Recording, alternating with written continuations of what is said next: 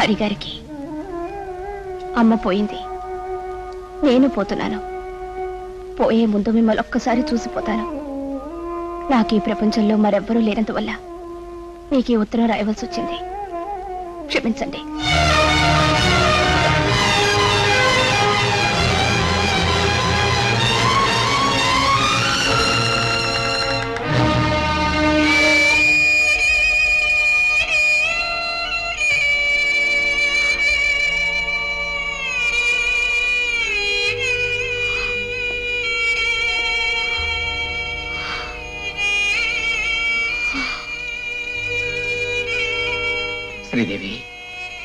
ఏమిటిది మీరు లేని నా బ్రతుకు ఎడారయింది మీ తోడు లేక నా మనసు కృంగిపోయింది.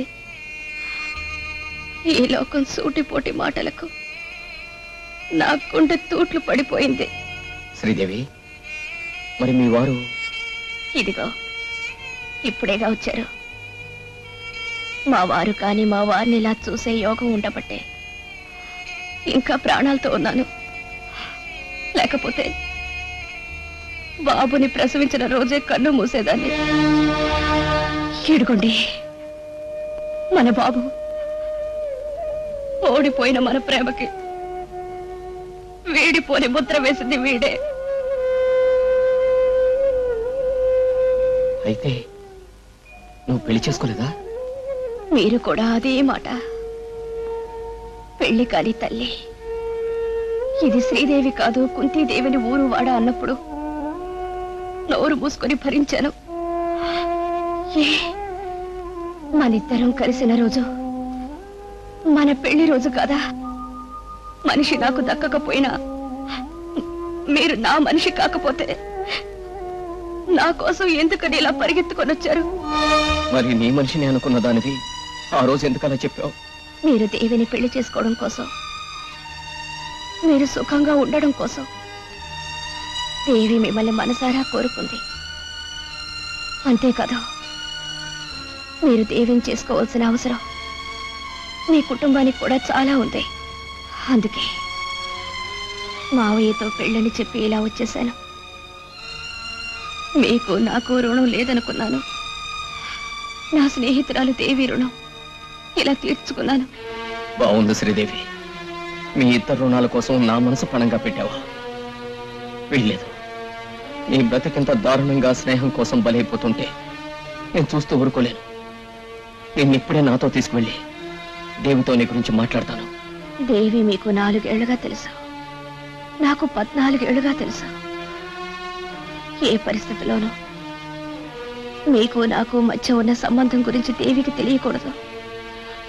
ఎలాంటి కష్టంలోనైనా సరే మాట తప్పనని నాకు ప్రమాణం చేయండి. అలాగే శ్రీదేవి. మాటిస్తున్నాను. మన సంగతి దేవికి ఏ పరిస్థితుల్లోనూ తెలియనివ్వదు.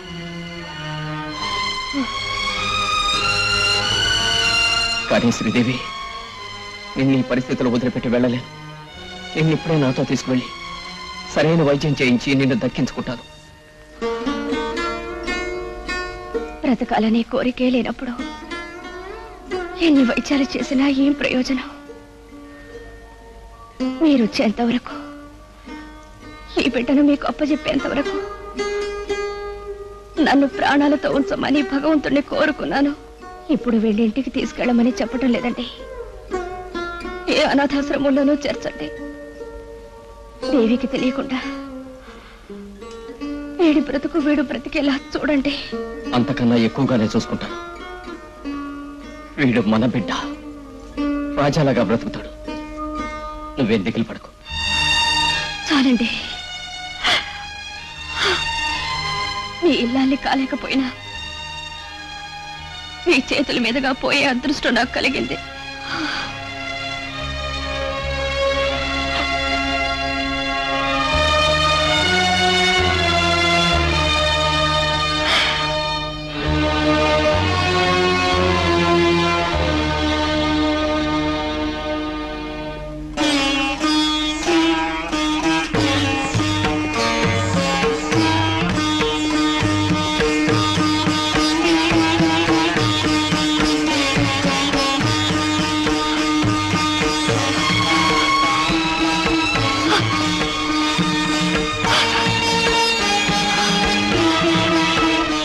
జన్మకు ఈ భాగ్యం లేదనుకున్నాను. ఇప్పుడు తృప్తిగా వెళ్ళిపోతాను. శ్రీదేవి. వచ్చే జన్మలో దేవి శ్రీదేవి ఇద్దరు ఒక్కరిగానే పుట్టి మిమ్మల్ని పెళ్ళి చేసుకుంటాం. అంతవరకు క్షమించండి.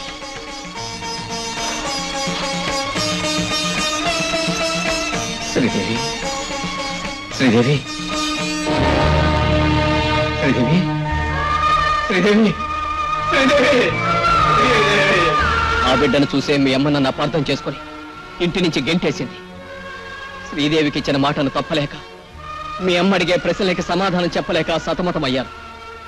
మీ అమ్మ కూడా ఏనాడు ఏ తప్పు చెయ్యని ఈ మనిషి ఈనాడు ఎందుకిలా నోరెత్తకుండా ఉన్నాడు అని ఆలోచించకుండా ఆవేశంతో నన్ను క్రూరుడిగా దుష్టుడిగా ఇంట బయట దుమ్మెత్తిపోసింది అంతే. ఆ ఊరిని ఆ మనుషుల్ని వదిలి దూరంగా ఇక్కడికి వచ్చేశాను. కానీ ఏనాటికైనా నువ్వు నా దగ్గరికి రాక తప్పదని తెలుసు. ఆనాడు ఒట్టి చేతులతో నీ ఎదురపడలేదు అందుకే ఈ పద్నాలుగేళ్ళు రాత్రనక పగలనక కష్టపడ్డా ఈ ఆస్తిని అంతస్తుని సంపాదించా ఇప్పుడు చెప్పమ్మా ఇంతకాలం మన ఎడబాటికి కారణం నేనా? చెప్పమ్మా మీ అమ్మ చెప్పినట్టుగా నేను మోసగాడినా? కాదు. ముమ్మాటికి కాదు. మీ మంచితనాన్ని అర్థం చేసుకోలేక మిమ్మల్ని దూరం చేసుకున్న మూర్ఖురాలమ్మా. నానా అవివేకంతో ఇంతసేపు మీ మనసు నొప్పించాను.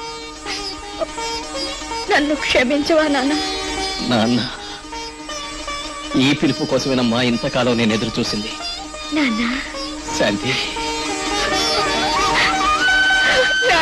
అమ్మా శాంతి. అమ్మా శాంతి. ఈ పద్నాలుగేళ్ళుగా మండుతున్న నా గుండెలు ఇప్పుడు చల్లబడ్డాయమ్మా. ఊరుకోమ్మా. కూర్చోమ్మా. వంచదు కానీ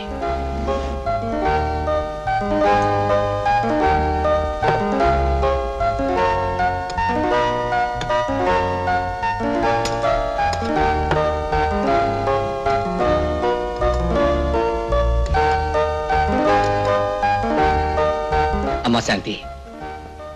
చిన్నప్పుడు మీ అమ్మని కాదని నేనే నీకు గోరుముద్దలు తినిపించేవాణ్ణి. అయితే ఈ రోజు కూడా మీరే తినిపించాలి. అలాగేనమ్మా. నాన్న కన్న కూతురు వచ్చిన ఆనందంలో ఈ ఉన్న కొడుకును మర్చిపోయావా నాన్న? నాకు ఒక ముద్ద పెట్టవు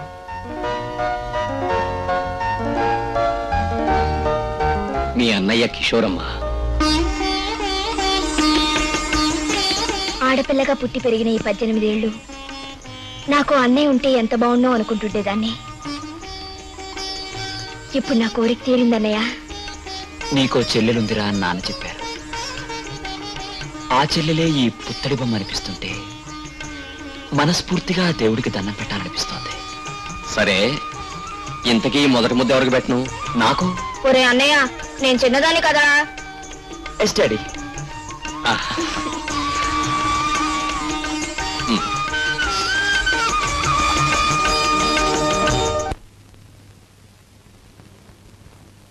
శాంతి నువ్వు రెడీయా?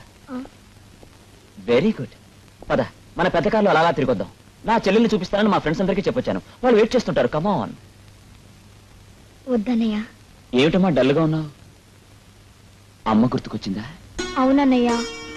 నన్ను వదిలి క్షణం కూడా ఉండలేదు. నాన్నని బెదిరించి రెండు రోజుల్లో తిరిగి వచ్చేస్తానని చెప్పొచ్చాను. నాలుగు రోజులైంది. అమ్మ ఎలా ఉందో. నన్నేమనుకుంటుందోనని బెంగగా ఉందన్నయ్య. అవును శాంతి. తల్లి ప్రేమను చూసిన దానివి. నువ్వు బాధపడటంలో తప్పులేదు. ఈ అనర్థానికి కారణం నేను. నా మూలంగానే అమ్మా నాన్న విడిపోయారు. చివరికి నా మూలంగానే వాళ్ళిద్దరూ కలిసి ఉండాలి. అప్పటిదాకా నాకు మనశ్శాంతి ఉండదు. నువ్వు సహకరిస్తే ఈ సమస్యను సులువుగా పరిష్కరించొచ్చు. నేను రెడీ అన్నయ్య. అమ్మ నాన్న కలుస్తారంటే ప్రాణం ఎవడైనా సిద్ధం. అంత పని అక్కర్లేదు. నేను చెప్పినట్టు అమ్మకో ఉత్తరం రాస్తే చాలు. ఏమని? ఏముంది? నాన్న తనని మోసం చేశాడని కదా అమ్మ ఉక్రోషం? అసలు నిజం తెలిస్తే ఆ ఉక్రోషం కాస్త ప్రేమగా మారిపోతుంది. అమ్మ పరిగెత్తుకొస్తుంది. అక్కర్లేదు. ఏ పరిస్థితుల్లోనూ ఈ నిజం ఆమెకి తెలియటానికి వీల్లేదు. ఇన్నేళ్ళ తర్వాత మళ్ళీ మీ అమ్మ ఇంటికి రావాలనుకుంటే ఒక్కటే మార్గం. తన తప్పు తాను తెలుసుకోవాలి. భర్తగా నాకున్న విలువను గుర్తించాలి. అప్పుడే ఆమెకి ఇంట్లో స్థానం అమ్మ చేసింది చిన్న పొరపాటే కదా నాన్న? సర్దుకునే అవకాశం ఇవ్వలేరా? అది పొరపాటు కాదురా తొందరపాటు. ఇందరి జీవితాల మీద తీర్పు చెప్పిన ఆమెను తలుచుకుంటేనే పోగొట్టుకున్న నా గతం గుర్తుకొస్తోంది. ఆమెతో గడిపిన కాలాన్ని గౌరవిస్తాను ప్రేమిస్తాను. కానీ ప్రేమకి పగకి మధ్యనున్న దూరం వెంట్రుకవాసి మాత్రమే. ఇక దీని మీద చర్చ అనవసరం. నాకు తెలియకుండా మీ ఇద్దరు ఏదైనా రాయబారం నడపడానికి ప్రయత్నించారో? నాకు కూడా దూరం కావాల్సి వస్తుంది. మైండ్ ఇట్ అన్నయ్య దీపావళి చిచ్చుబుడ్లా భగ్గుమంటున్నాడు. అమ్మని ఇక్కడ తీసుకొస్తే లోపలికి రాణిస్తాడంటావా డోంట్ వరీ చెల్లాయ్. ఈ ముసలాళ్ళంతా ఇంతే. మేకపోతు గాంభీర్యాలు. మనుషులు ఎదురుపడే వరకే. పడ్డారా అంతే. నువ్వు నేను కనపడం నీకెందుకు? నేను చెప్పినట్లు అమ్మ గుర్తుండ్రాయ్.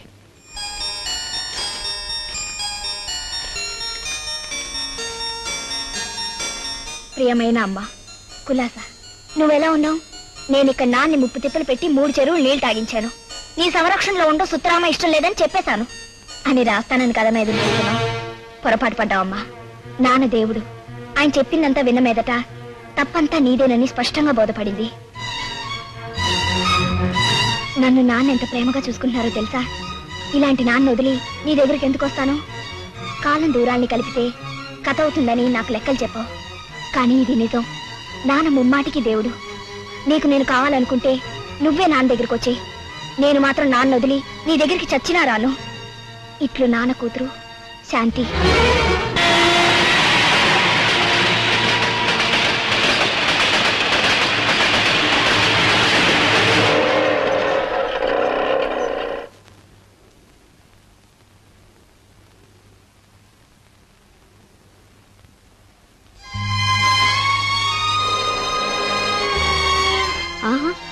బానే సంపాదించి పెద్ద ఇల్లే కట్టారు.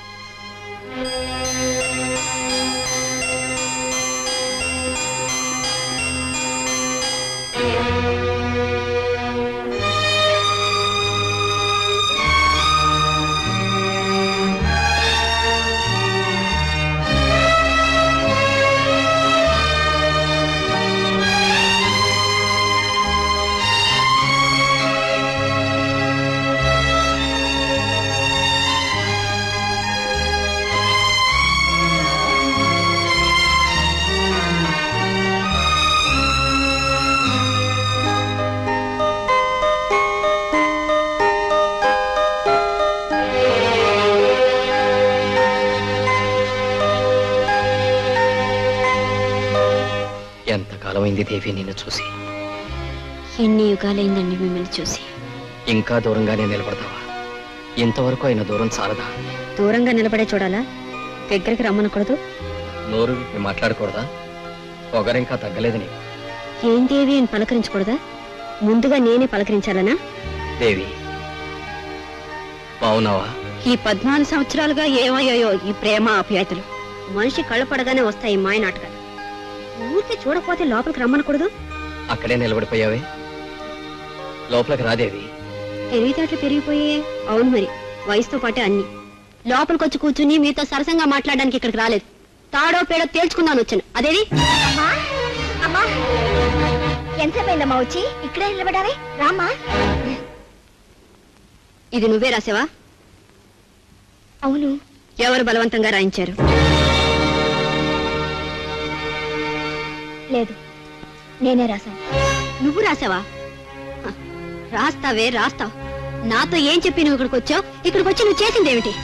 నన్ను తప్పులు పడుతూ ఉత్తరం రాస్తావటే? మొన్న పుట్టి నిన్న కళ్ళు తెరిచిన దానివి నీకేం తెలిసే నా తప్పులు? ఆయన చెప్పమను. ఇద్దరం ఇక్కడే ఉన్నాం. మాట్లాడమను.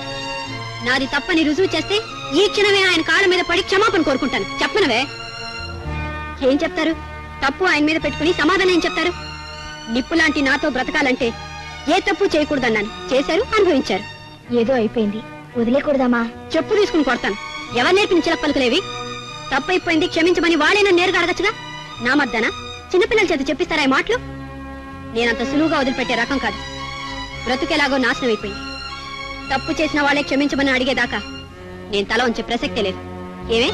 ఏదో నాలుగు మాయ మాటలు చెప్పి మా అమ్మే మా తల్లి అనగానే ఆయన మొక్క తిరిగి పడవేనా? బుద్ధిగా నాతో వచ్చే. పదా. అమ్మా నేను రానమ్మా. నేను ఇక్కడే ఉండిపోతాను. ఇక్కడ అందరూ చాలా మంచివాళ్ళమ్మా. ఓ ఇక్కడ అందరూ మంచివాళ్ళు. నేనే చెడ్డదాన్ని. అంతేగా? ఉండిపోమా? ఇక్కడే ఉండిపో. ఆడదాన్ని అనిపించుకున్నా. ఈ భోగాళ్ళు ఈ సిరి సంపదలు నీ కొత్త ఏమో కాని నాకు పాతేనే. మీ నాన్న జన్మలో చూడని ఐశ్వర్యాన్ని మొట్టమొదట రుచి చూపించింది నేనేనే. ఇప్పుడు వాటిని పెట్టి నేను కొనేసాడే మహానుభావుడు. ఏవి తొమ్మిది నెలలు నిన్ను దాచుకునే ఈ కన్న కడుపు కన్నా నీకు ఈ భవనం ఎక్కువైంది. పద్దెనిమిదేళ్ళు నిన్ను ఎత్తుకుని పెంచిన ఈ గుండెల కన్నా నీకు ఫారెన్ కారు గొప్పదైంది. సరే ఉన్న ఒకే ఒక బంధం నువ్వు అనుకున్నాను ఈ క్షణంతో అదే తెగిపోయింది. ఉండండి మీరంతా సుఖంగా ఉండండి. నూరేళ్ళు నా పేరు చెప్పుకుని బ్రతకండి. ఈ జన్మకి మీ మొహాలు మరెప్పుడు కనిపించినంత దూరంగా వెళ్ళిపోతున్నాను.